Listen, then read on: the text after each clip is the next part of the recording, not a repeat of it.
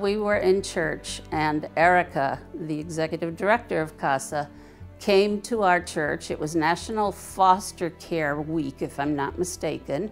While Erica was still speaking, my husband leaned over to me and he said, I want to do that. We had previously been foster parents, but we hadn't fostered in quite a while.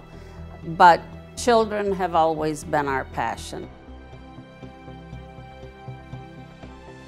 I remember one time he had a child that was acting up in school and he went to the classroom a few weeks in a row and just sat there and that child was like in awe that he would come there for him um, and be there just for him. Um, so that was very rewarding for Charles.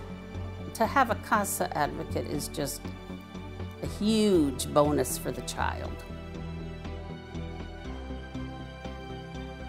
We've always um, been committed to children and their causes, that at least they were in a safe, loving environment while they were with us, I think made the difference.